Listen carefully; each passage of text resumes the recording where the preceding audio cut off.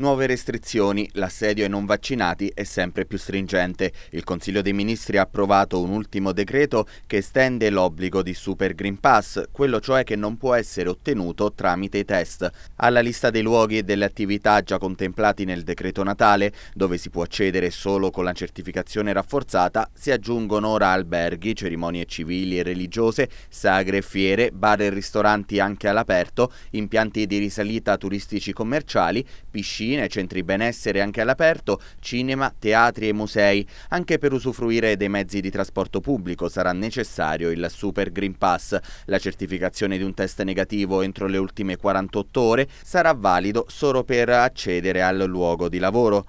Il decreto sarà in vigore dal 10 gennaio. Novità anche riguardo le quarantene, chi ha un contatto con un positivo accertato ma non ha sintomi non dovrà isolarsi precauzionalmente se non sono trascorsi più di quattro mesi dal completamento del ciclo vaccinale o dalla guarigione dal Covid. Sussisterà però l'obbligo di indossare mascherine FFP2 per 10 giorni dal contatto a rischio, mentre la quarantena termina nel momento in cui si ha l'esito negativo di un test, seppure antigenico, ed effettuato privatamente. La FFP2 comunque sarà obbligatoria in molti luoghi al chiuso e sui mezzi pubblici. Si ragiona sul prezzo calmierato di un euro a mascherina. Abbiamo incaricato il commissario Filuolo di avviare un percorso con le farmacie, ha dichiarato il sottosegretario alla salute Andrea Costa. Per quanto riguarda la capienza invece questa è ridotta al 50% per gli impianti all'aperto e al 35% per quelli al chiuso. Ad inizio gennaio si riunirà il Consiglio dei Ministri e non è escluso che vengano introdotte ulteriori restrizioni.